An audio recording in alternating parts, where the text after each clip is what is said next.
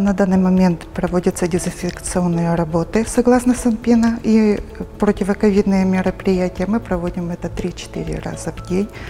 И во вторник, 16 марта, мы готовы принять деток.